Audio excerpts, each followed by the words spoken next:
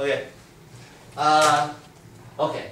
So drawing the stereoisomers uh, of these, they're tetrahedral. We know that already. Tetrahedral cannot have geometric isomers. So we're drawing the optical isomers. I randomly filled in the ligands. However you feel like it. I'll draw the mirror image.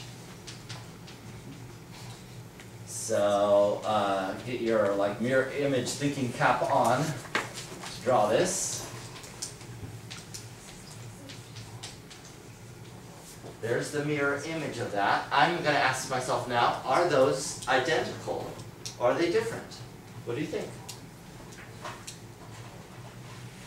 Are those the same molecule or are those different molecules? They're different, yeah, they're different. Uh, so these are optical isomers of each other. They're called enantiomers. Each one of these is chiral. So if I had to draw all the stereoisomers of the top one, I draw two, these two, and that's it. Okay? Let's do the bottom one now. Same sort of idea, set up your little template here, and fill in the blanks randomly.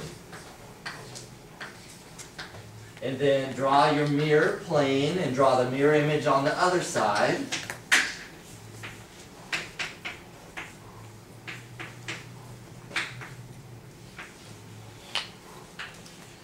Okay, now you have to ask yourself, are those two the same or different?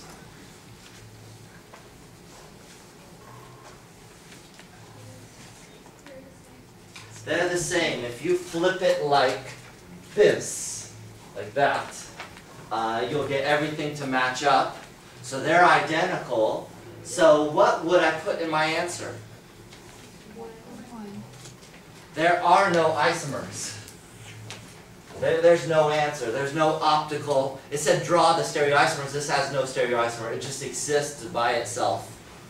Uh, there's no isomers you can put for the tetrahedral complex. Yeah. But there's one geometric, right, or one, uh, thing? Yeah, that's right. It, it's uh, you can't really do that. It's kind of like uh, I don't have a really great analogy, but it's it's like if you're only child, name all your siblings. Uh, it, it's really hard to do. So there are no siblings. That it just exists. There's one thing. It's this, but if you it said draw the stereoisomers, there's nothing to draw. Where here there'd be something to draw because there's two that are different. Yeah.